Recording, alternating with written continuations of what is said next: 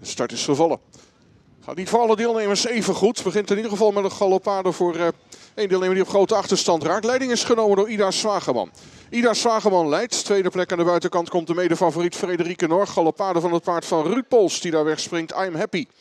I'm happy maakt een foute deelnemer die op achterstand nummer lag. 7, galop nummer 7. En nog steeds licht was ook een van de gespeelde paarden. Lambada Zon die doet nu ook niet meer mee, want die is nummer ingehouden. 3, galop nummer 3. De drie er ook uit en zo gaat het hard. En de leiding wordt nu overgenomen door de medefavoriet Frederike Norg. Frederike Norg, daarachter Ida Zwageman. De derde plek daarachter is voor de nummer 2 en dat is Jersey Muscle. Paarden zijn halverwege de rechte lijn over zijde. Komt zometeen ook de eerste tussentijd op de klokken. De buitenkant gaat nu een andere deelnemer naar voren. Dat is Gangster. Gangster zoekt de medefavoriet op. En de eerste 500 meter gaat in 1.16.4. nummer 6. De 6 eruit. Je suis Rob. En zo wordt het veld steeds kleiner en kleiner. En gaan de deelnemers de linkerbocht in. Leiding daar in handen van Frederike Norg. Aan de buitenkant komt Gangster. Zijn precies de twee favorieten nu vooraan. Ida Zwageman ligt eh, derde. En vierde aan de buitenkant komt ook dichterbij. Rob de Vlieger die aan het opschuiven is met Jack Hanover. Zijn de eerste vier paarden. De rest van het veld vlak daarachter. En zo zijn de deelnemers in de rechte lijn voor de tribune. Stempo eh, nog steeds vrij fors. En gaan we zometeen nog één ronde afleggen. Tweede tussentijd komt er ook aan. Die tweede tussentijd die luidt 1.17.1. De eerste kilometer gaat in 1.16.8.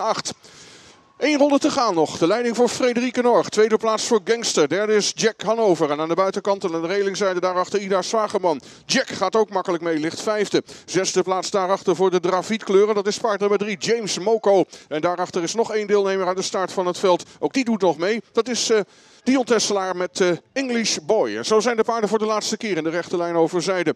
Frederike Norg leidt. Gangster vlak daarachter. De aanval komt nu aan de buitenzijde van de nummer 11, Jack Hanover.